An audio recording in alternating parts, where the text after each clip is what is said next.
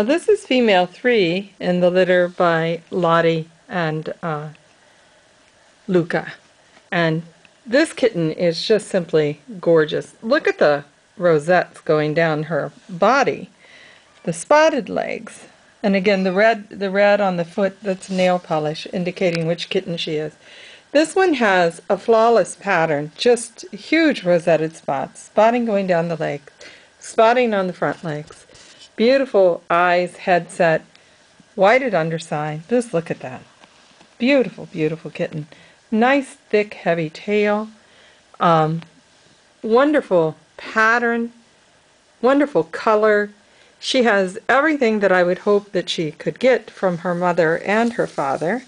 And um, is really a beautiful, beautiful animal.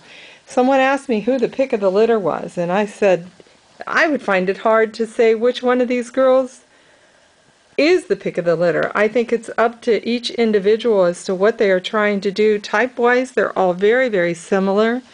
You just have a little bit of difference in the way the pattern is laying on them.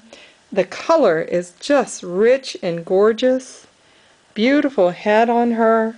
And this is female 3. Um, I said in the other video I'd taken them all to be heart to be eye certified. They've all been eye certified. So that's been done. Mom and Dad, everybody's been uh, HCM checked. Everything's been done. So these uh, these kittens are uh, available to breeding programs and uh, to really really special pet homes. So this is female three.